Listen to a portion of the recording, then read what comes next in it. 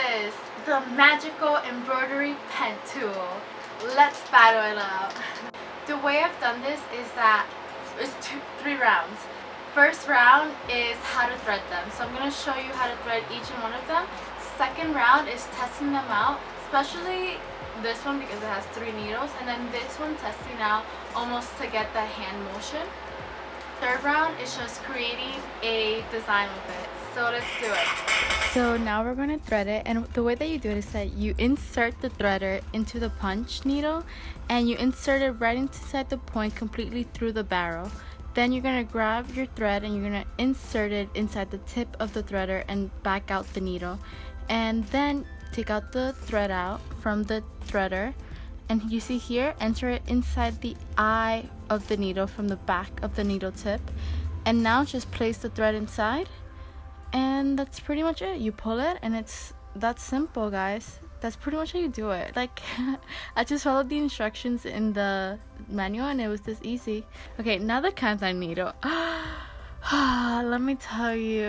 Okay so you technically don't thread it, you do a basic stitch. And the way you do the basic stitch is you insert the needle through the fabric uh, and then hook the thread in like a loop and then you bring it up from from here and you stick the needle through the hook and then you bring it back up trying to grab up the thread. And this is supposed to be how you lock it in so the thread is nice and fixed there. But I the the wrong strands of thread or then the hook kept getting stuck to the fabric. Like you can see here how I keep messing up. So now I just like pull it out. And but that's our result for round one I prefer the punch needle. It was so much easier to thread. Technically you can thread the kantan needle because you create the base the basic stitch and there it locks it in. But it was hard. It was harder than the punch needle. So this round punch needle all the way.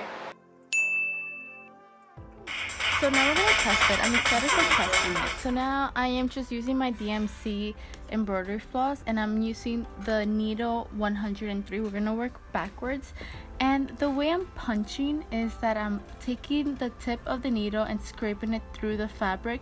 I'm not pulling too far apart because I noticed that if I pull it way up, the loops would come out and here you go this is something that happened as i was doing the needles because the the, the thread is pulled it kept pulling the whole bundle of floss. So i learned from this that i had to make sure to remember to constantly just pull the strand pull the, the thread from the bundle so it gets stuck on the on the tip of the needle.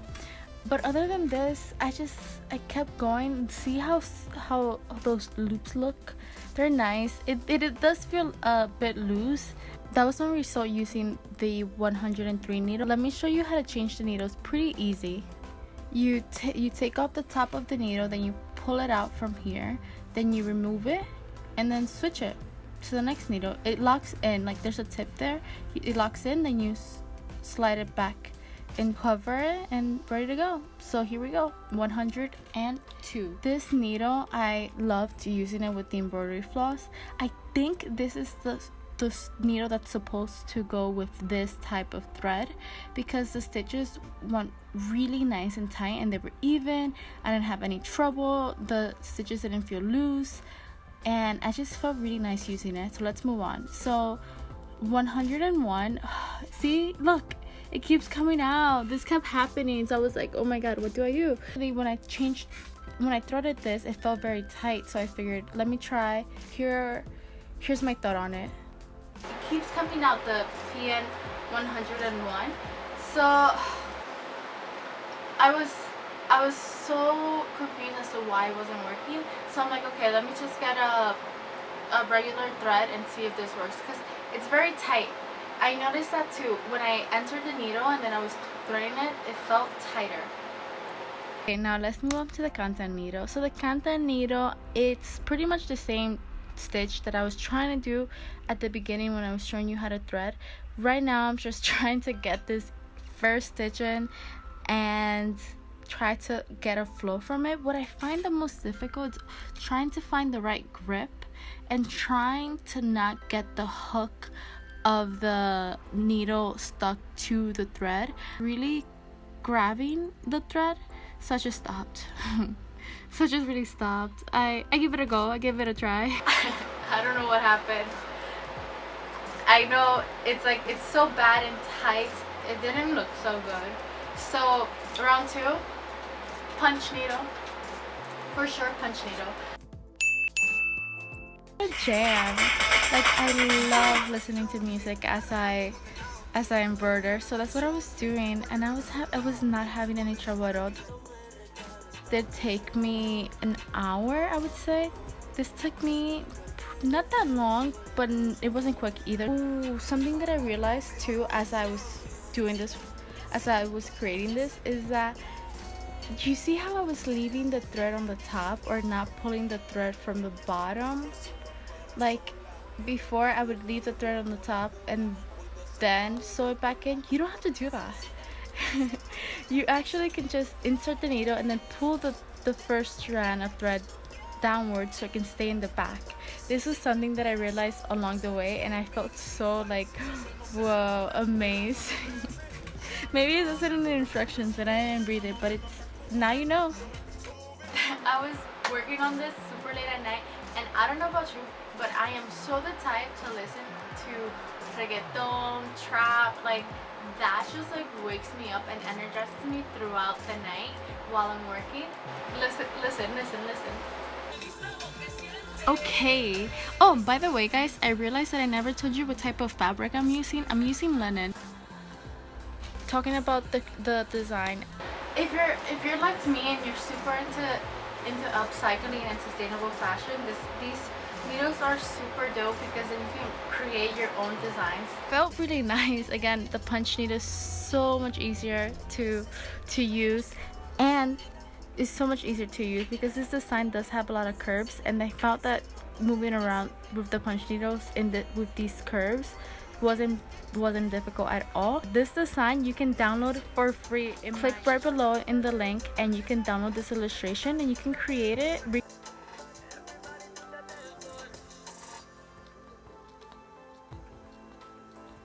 I gotta tell you this you have to have fun if that's one thing that you get out of my my slow fashion, this my slow fashion lifestyle is that in the end of the day, it's eco, it's green, it's sustainable, it's all fashion making fun. It's not calm.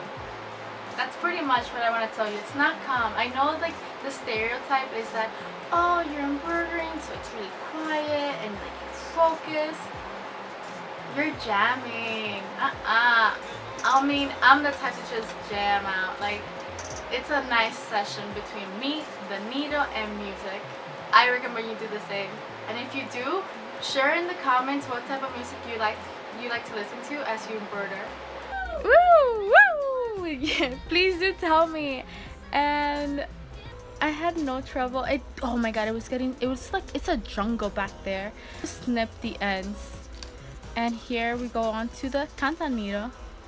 So back to the needle as I was saying in the beginning, this gave me trouble. Even trying to create this illustration, it, it was trouble it was troublesome and the curves it wasn't easy to do the grip and getting the needle the movement right i it yeah you can you can see here how it was getting tight it was pulling onto into the fabric it just kept doing that.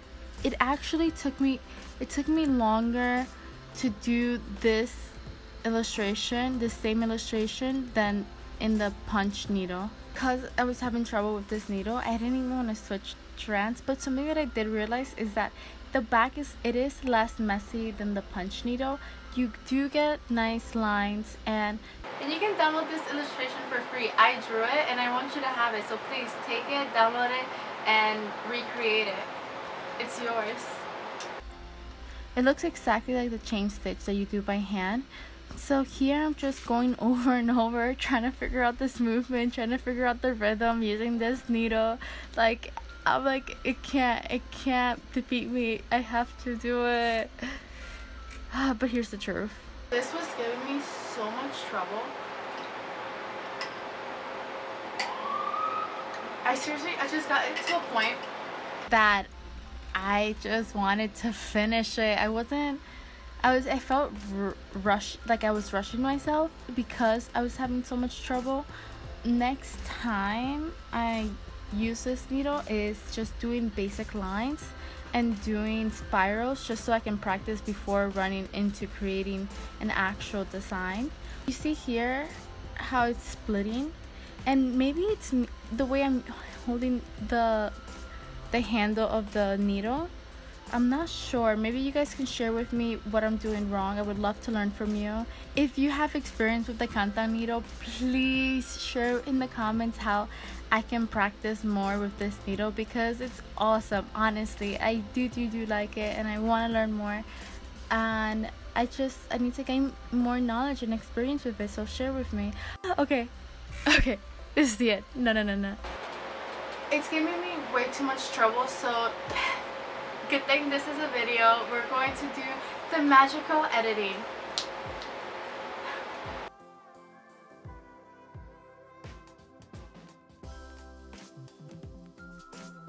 So this is the comparison, this is the result of the Kantan needle versus the punch needle by our beginner.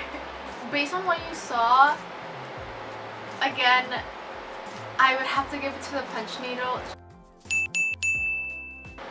was definitely such a great learning experience and I hope that my experience showing you the comparison between the two needles helps you out choosing which one you want to give a try or maybe you just want to get both of them.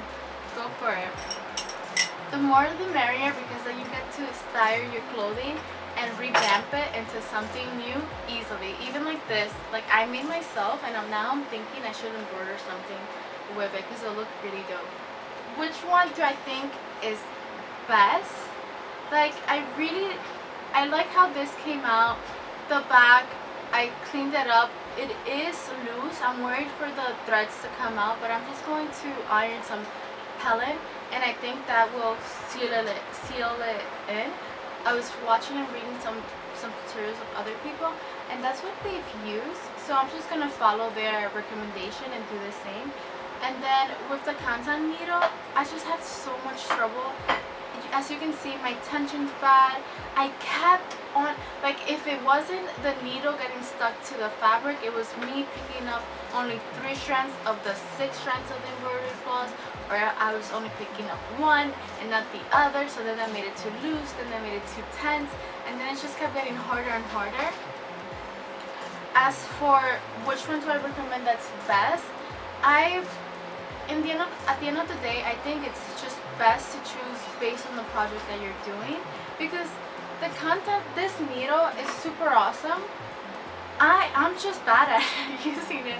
So this tells me that I need to practice much more with this needle because I want to create embroidery in clothing and the finishing that this gives off is way better in clothing with the punch needle, I think it's great for creating patches and for creating embroidery hoop art. It's super great and if you do want to embroider like something small on your shirt, your jeans, it is great because then you can have a small section and then apply Pellon. I'm happy with the results because in the end of the day I got to learn which one I need more practice on and which one gave me the most trouble so to, I can't wait to continue practicing on and on. And if you want to see my process and my progress with using both these needles don't forget to follow me on instagram at kaaramary so that's pretty much it. This has been the comparison between these two needles. If you want me to make more videos similar to this one please write it down in the comments. And as you scroll down don't forget to click on my blog post because there i have a ton of more information on these needles. Plus I have a chart and I have friend where you can find them, you can buy them. And pretty much just the whole gist between this one versus that one. And oh it's so hot.